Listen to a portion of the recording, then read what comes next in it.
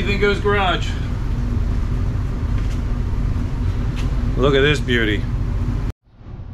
What we have here is a 1969 Chevelle Malibu.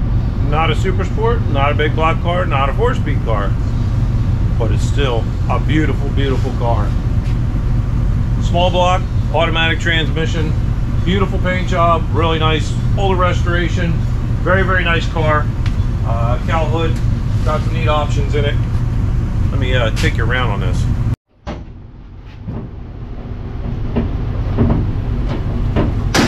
Oh, wow, this hinges need some oil.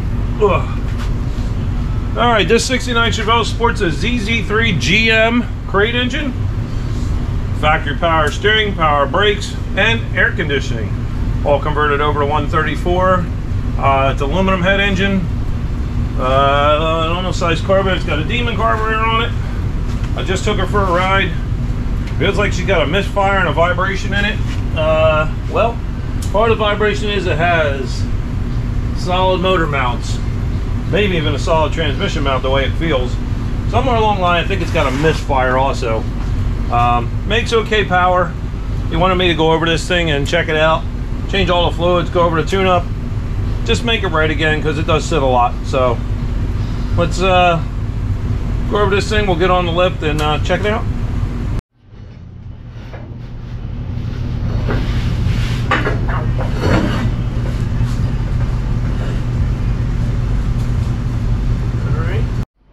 All right, so I set it up on the lift. Here's the exterior part of it. Beautiful paint. I love the uh, white stripe. Very nice. Rally wheels. Pretty cool. Beautiful green interior. What is it with the green cars? It's past uh, two uh, two jobs that come in. Beautiful. It's got a was that B&M quarter stick in it. Uh, mechanical gauges. Got the nice uh, GM steering wheel. Very, very nice car, air conditioned, just beautiful, all out. Got a couple little things. It's showing its age, but no, it's a good car. Looks really well. Very, very nice car. Makes me want to break out my uh, 68. Need some bumpers and stuff. It's starting to pip, but these are all original. But no, otherwise, no, that's easy stuff there. Let's get this thing in the air and uh, check it out.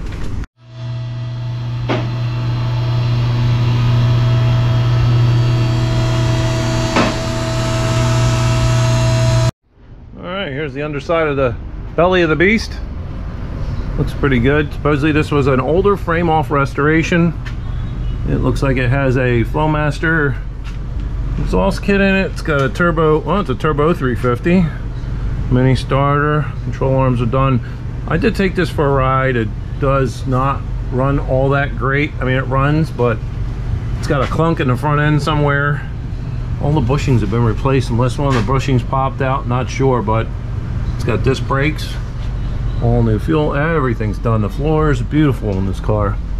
This was supposedly a four-year restoration. It's an older one, like I said. But, oh, look at this. We got rubber. Wow, call the warranty company. Something wrong with the tires. Are they on both sides? Yes. Also, he's got um, tailpipes coming for it. They never put them on. This thing is obnoxiously noisy on the interior without tailpipes if those of you who if you know you know it just drones through your head so well we have a 10 bolt with a posi rear look at that all right i was wondering if this thing was going to have a good rear so he told me to check the fluid change the fluids whatever you got to do so we might pull that cover off and he says there's he says the rear sounds like it's going but it sounded good to me but we can always pull the cover and change the fluid and inspect the oil so it's got a Jasper Turbo 350 in it. It's got some block hugger Edelbrock manifolds, exhaust uh, headers on it. It's like stainless brake lines and fuel lines. Everything's at factory. Very nice. Very nice. It could run a little better. It wasn't off the dead start without, it didn't spin the tires. It made some power, but I don't know what gears in this thing but he said go over it and make it run better so that we will all right so uh, we're to do a fluid check on this thing and check all the belts and give it the once over. I want to check the headers, the intake for tightness, valve covers. Uh, I want to pull the air cleaner off, see what kind of condition carburetor's in, and let's see what else we want to do here. We're going to grease this thing. It said charge the AC if it needs it. So uh, I want to pull the plugs out. It's got a misfire. He said one of the plugs at nighttime you could see it arcing across. So that might be part of the vibration and doesn't just doesn't feel right going down the road. So it may need another set of wires. We'll check the condition of the plugs and the inside of the cap. I don't know how many miles are on this thing since they built it. So we're going to find that out. zip ties and spark plug wires.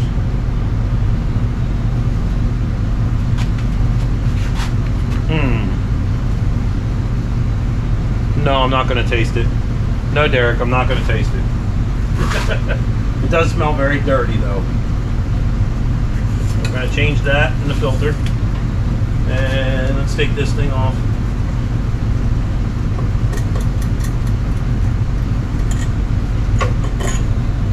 And we have ourselves a Demon carburetor. It looks like it's backfired a couple of times.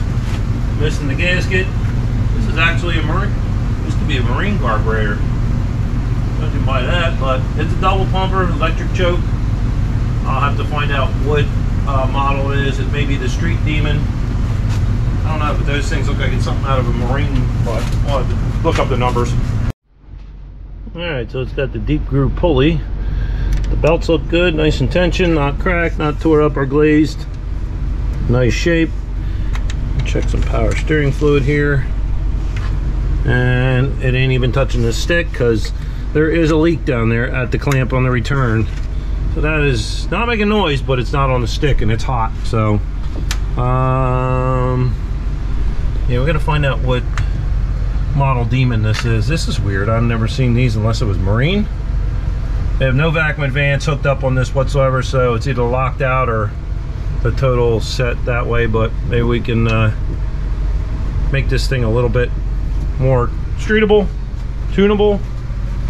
I'm not big on blocking off the vacuum advance on a streetcar. So, have coated headers, they're all peeled off. Some of them plugs look like they're real fun to get to. So there was a return line right here that's actually got a loose clamp. I'm gonna have to tighten that up. That's probably where all the power steering fluid went. Yeah, all right, let me uh, get some tools. All right, boys and girls. I was in here tightening up some of the headers. They were pretty tight. Them took about an eighth of a turn, not bad. And I figured out what the clunk was in the front end when I was turning and backing up with the brakes on. We have a loose control arm. Look at that. So your bolt, or 3H24, backed out. And now this has a gap here and the control arm is moving back and forth. So we're gonna have to tighten that up. This one here, I'm gonna check the torque on all of them anyway. It might have been torqued while it was in the air. It's supposed to be torqued with the car on the ground, so you never know. They back off. I've had them do that before. I also saw that this has a closed system on a piece PCV valve system. Okay, hopefully it has a baffle on these valve covers. I'm sure they do. And there's no breather for it to take fresh air from. So that is a that is just looking for trouble because now you're making well don't have a baffle but it needs to bring fresh air in to get rid of all your say blow by and your gases. So now you're gonna have a real negative uh, vacuum in your oil pan which you shouldn't. It should pull fresh air in one side into the PCV valve and reburn those gases. So we're gonna have to get a uh, breather on that side of the valve cover all right, so I also found that the other control arm had one loose bolt, but it wasn't clunking, but it's not torqued to spec. It's actually snug. That's it. So um, I'm gonna run these in, get the torque wrench, find the torque, and they're a pain to get to with the torque wrench because wheel well's in the way, just like the four door again.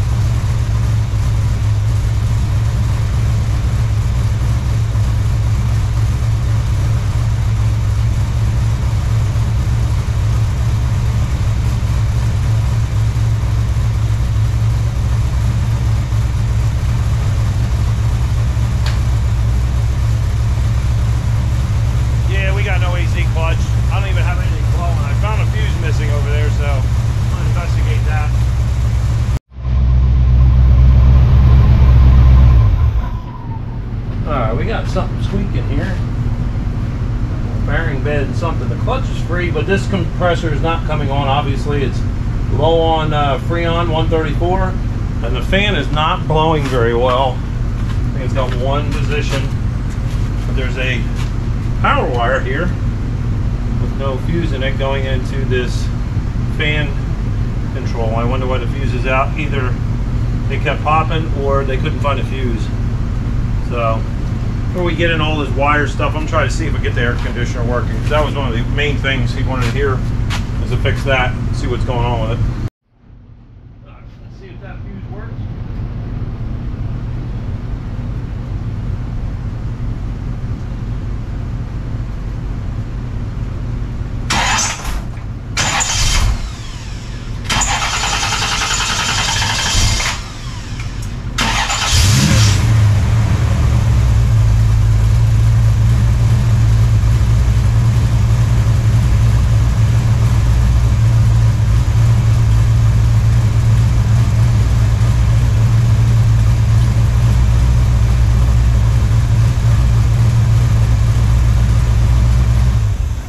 Alright, we got a medium speed on the blower. That's it. That could be rheostat, that box over there that controls the speeds, high, low, medium. Well, one of them is, two of them ain't working, so I guess the next trip would be to uh, try to find how much fluid, uh, Freon's in this thing. Alright, I have to turn that fan off because I can't hear anything. Not I can't hear with a meter. Put on the low side, see if there's any pressure in this thing. Zero.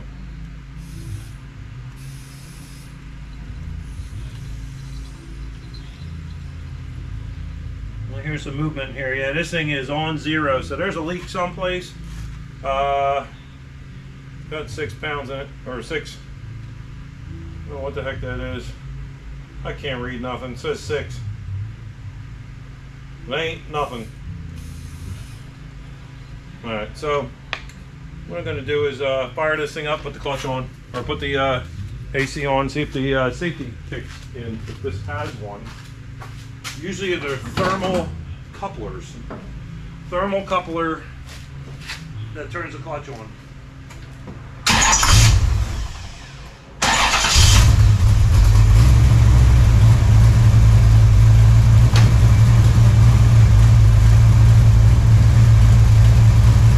But there ain't nothing in it. It ain't gonna do nothing.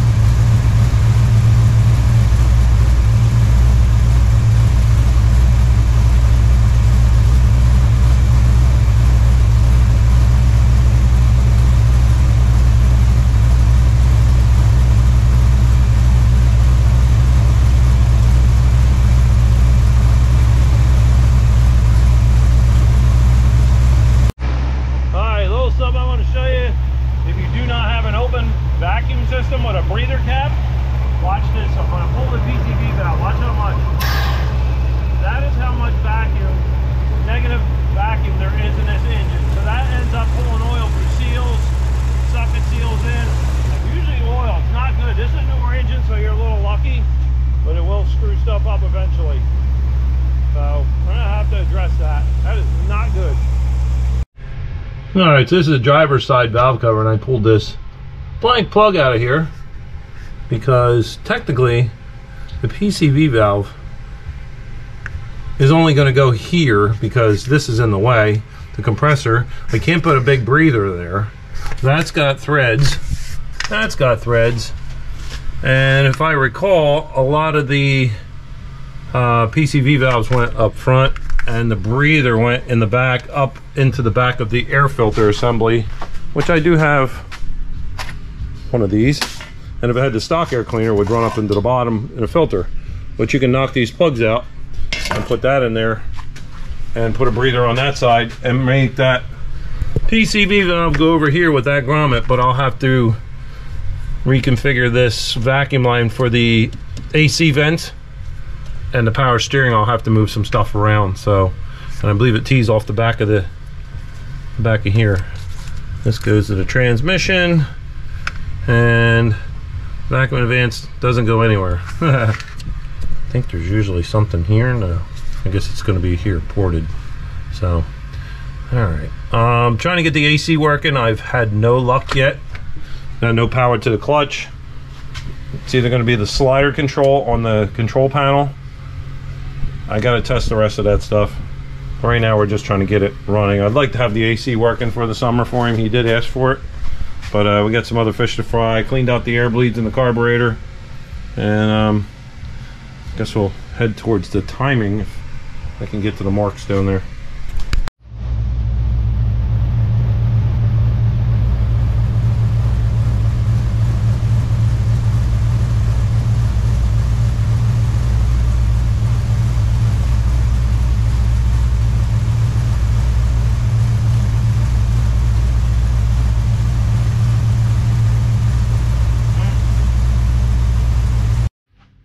right, so I checked the timing. Timing set at 12 with the vacuum vents disconnected, so that's about good for this little street car. Makes a little bit of compression if it is the ZZ motor from the Corvette. Corvette. the aluminum heads and stuff, so um, they had the balancer marked. It's a nice uh, marked balancer, so it's good. Um, yeah, I'm gonna have to get a few things for this thing. Uh, I want to cool this thing off totally. I want to get the plugs out of this thing and check those wires. I see there was tape around one of the spark plug wires. That may be one of the misfire issues. I know, whoops. Uh, tape doesn't, mm, tape don't make it what it ain't. Makes it what it isn't. Uh, not misfire. so, ah, Lord. I know uh, whether you guys can see that down there. There you go. That power steering hose is return line is all swelled up and it's leaking. I want to change that out. It's like mush, so and especially when it gets hot, it's even mushier, and it's it's dripping onto the uh, sway bar and down on the chassis. So that's one things I want to change before that pops, and you have zero power steering. And there's plus it's low anyway, so I'll get it while it's low, and then I'll top it off and bleed it. All right, lower side of the low side of the return of the power steering and El Musho hose here, and these stupid clamps that people use these things suck. Yeah, they might have came like this from the factory, but that hex size is not quarter inch and is um, some half metric size. Nothing I can find to fit this. So I end up having to squeeze up there with a screwdriver to get these things off. And I've used these before and they always stinking leak. Can't stand them. Terrible design. I'd rather use the worm style clamps, but all right, a little bit of progress here. Uh, on the AC system. I managed to fix that PCV system, but except for the breather. But anyway, I was working on the heater fan switch, which takes special coils for high and low, and they build up resistance with like coils, and they get super, super hot. And they're located right in, right in this box right here, and they're cooled by the fan, uh, the evaporator, whatever.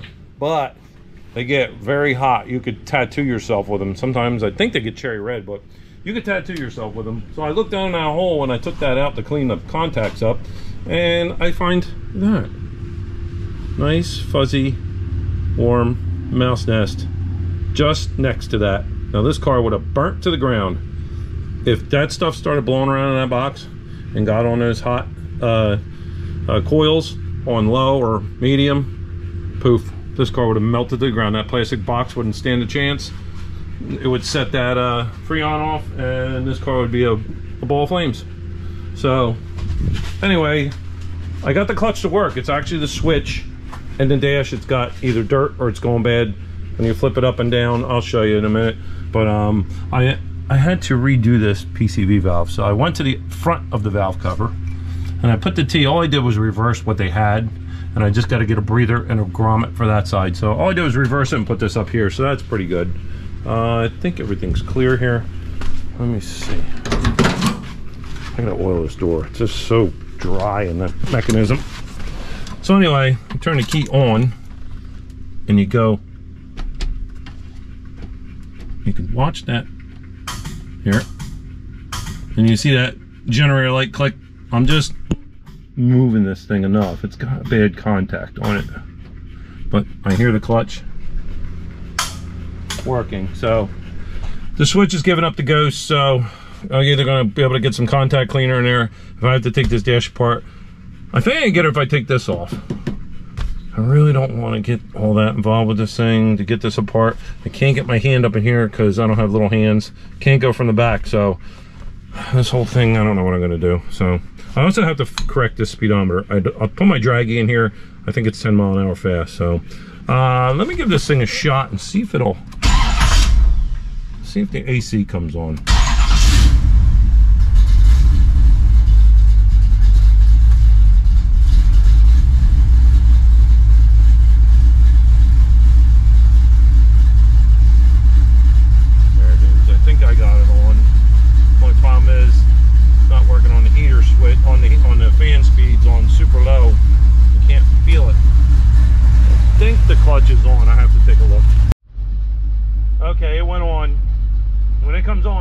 the motor right down. So it's on right now, but I'll have to wait for this thing to start throwing some air, but it's on low.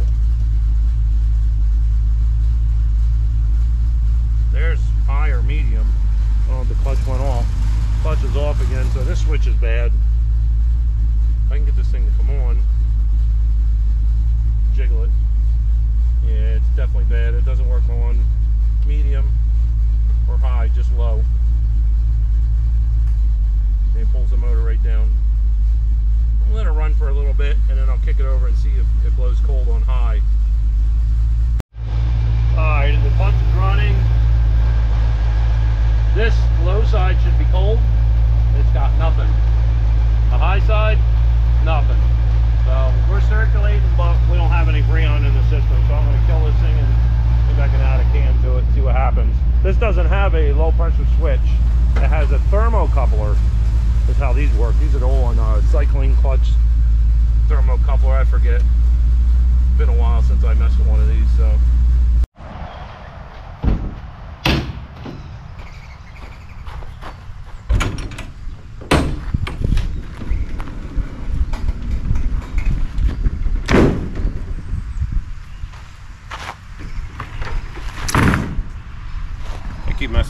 Chevelles, now I want to drive mine.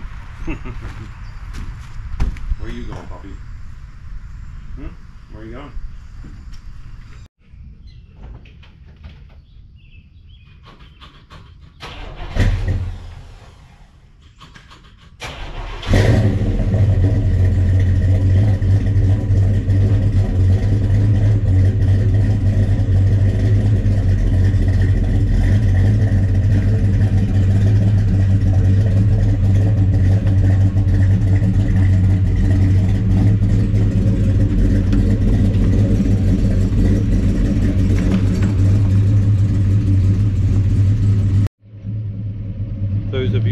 seen this car, it's my 68 Chevelle Super Sport, big block four speed.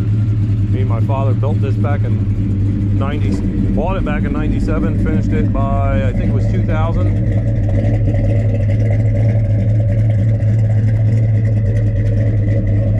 It's a cheaper SS version, 325 horse, has an M20 four speed with a 331 Aussie Warrior has no gauges, no tachometer, no power brakes, but it has power steering.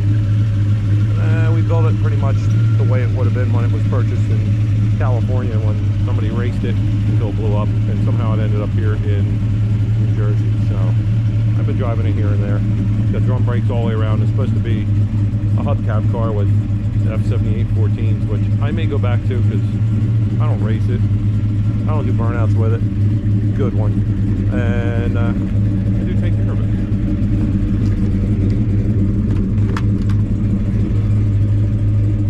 Except for the steering wheel, it's all stock. Got a couple pieces of trim fell off. Sold. Finished this car in 2000. Heads need work. Uses some oil. Guides are tore out of it.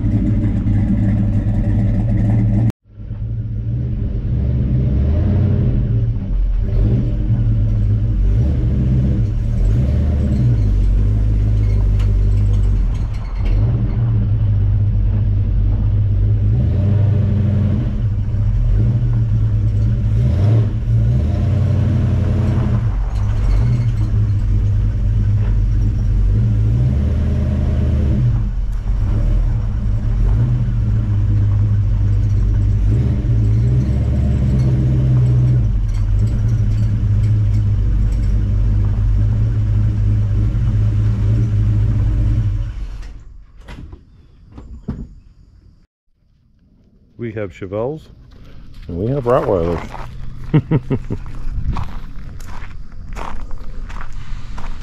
so there's that car, 68, 69, 72, 72. There's another 72 in the shop, my big block car, and another 72 or 71 four door over there on the other side. So anyone want to add any Chevelles to the collection, bring them over.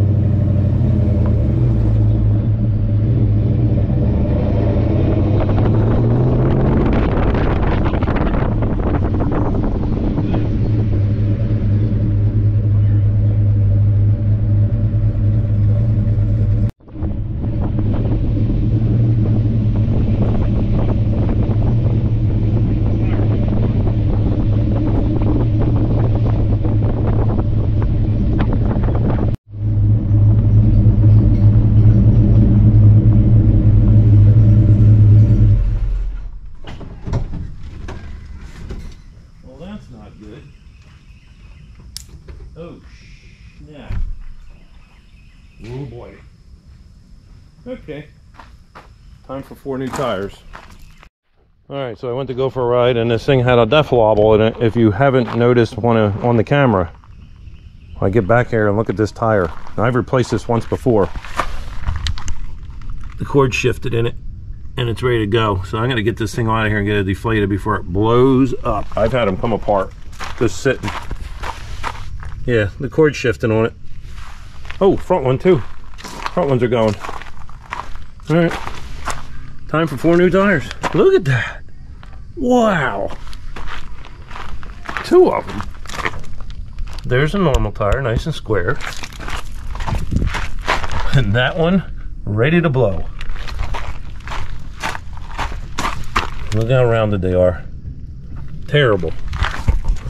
All right. So,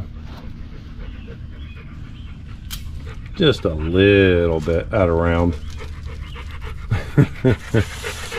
Whew.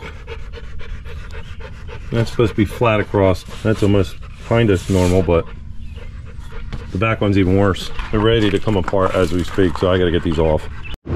Hey, hey, what do you say? Welcome back again. Sunday, Memorial Day weekend. Doing a few more things today, washing some cars, changing some wheels. So, yesterday I had an issue with some uh, tires on my 68 Chevelle. We had some shifted cords.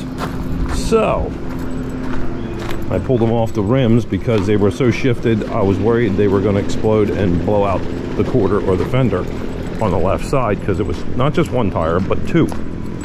Two tires. Now, these tires have been kept inside. They've been sauced up. They've been to every car show. Not one crack in them. But that's what happens after when they get old. Now they are 24 years old. And they look like, well, not quite brand new, but as you can see, they ain't flat like that no more. So, luckily I didn't give it the beans, as you saw in the video. And uh, I think it would have ripped the quarter off. Maybe sent me into a fence or something, so. Now, my new plan is to put the stock wheel and tire combination on it from the factory. 14 by 6s or 14 by 7s. I think they're 7s, hold on. 14 by, well here's the setup here, here it is. 14 by 6 JKs. I found out that 68.9 they did use these little 14 inch and they had the full wheel cover and you just put the SS396 uh, badge in there and you just these, bend these back and put it in there. They do sell them, they're really cheap. So I'm gonna get these uh, shot blasted down to uh, raw steel and I'm gonna prime them, paint them black and clear coat them. And I'll clean up these hubcaps, put the centers in them. Then I gotta make that big old phone call to Coker to get the correct tire, which I need to find. It's either going to be a red line or a white line. I don't know what it is. If it's supposed to be a G series, an F series, I'm not sure yet. I'm still trying to figure that out. So I do want it correct. I don't race it anymore. I don't really beat on it. I have this. I have that. I have this and that and that and that. I don't need to beat on it. Yeah, occasionally I jump on it and chirp a few gears, but at three, four hundred dollars a pop on those cokers, mm, no. So what I'm going to do now, I just washed up the old girl for uh, June 8th, and I'm going to take it for a little spin and see how this new carburetor is. I love the throttle response on it. It's super, super crisp. So get under a load and take it for a ride and see what happens. Let's go. Yeah, put you up here. Hopefully you can see. Uh, get you pushed up here. Hold on. So our belts are still good to December 2025. That's good. Got a helmet still in date and a jacket. I won't give this thing the beans right away because it's got to warm up. I know it's 85, 90 degrees out, but you know, it's got a little temperature in it, but uh, let's do this.